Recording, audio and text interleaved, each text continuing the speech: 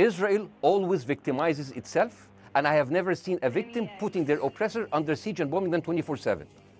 All right, you look it. at Israel as Superman, but they're really homelanders. You know first, I know what to call. I'll be giving no fuck. I say whatever I want. I do whatever I want. I can't let money